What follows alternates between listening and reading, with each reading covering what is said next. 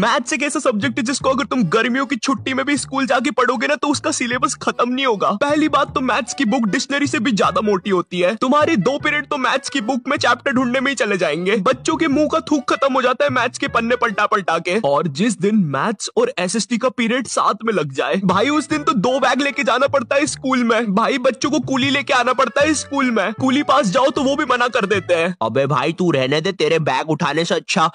ये लोहा नहीं उठा लू मैं अगर तुम्हारी स्कूल में आठ पीरियड लगते होंगे तो उसमें से तुम्हारे चार पीरियड मैथ्स वाले टीचर के लगेंगे एक पीरियड उसका खुद का और बाकी के तीन पीरियड जो टीचर अपसेंट है उन